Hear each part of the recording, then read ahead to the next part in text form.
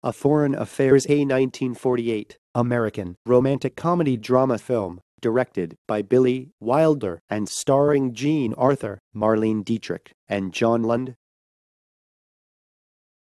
The film is about a United States Army captain in post-World War II Berlin, occupied by the Allies, who is torn between an ex-Nazi cafe singer and the United States Congresswoman investigating her.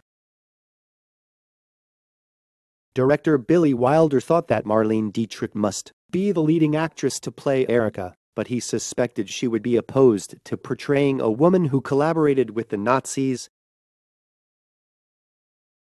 The reason was that during World War II, she made humanitarian efforts to accommodate German and French exiles, provide financial support, and even advocate their American citizenship.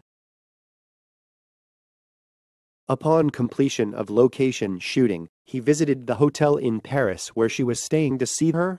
The result was as expected. Her immediate reaction was a quick and vehement no. So he swad her with the promise that her songs in the picture would be written by her old friend and frequent composer Friedrich Hollaender. Even so, she was not persuaded. He took out the last card he showed screen tests of other actresses he claimed to be considering for the role.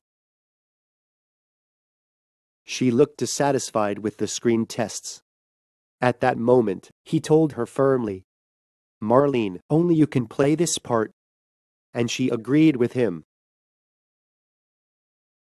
It is not clear whether director Billy Wilder actually showed her screen tests of other actresses, including June Havoc, but one thing is clear, he recognized her as the actress who must play the role of Erika. This example shows us that the strongest motivation to move people is recognition, which is also useful when persuading someone. Here's a quote from Mary Kay Ash, founder of global cosmetics company, Mary Kay. There are two things people want more than sex and money recognition and praise.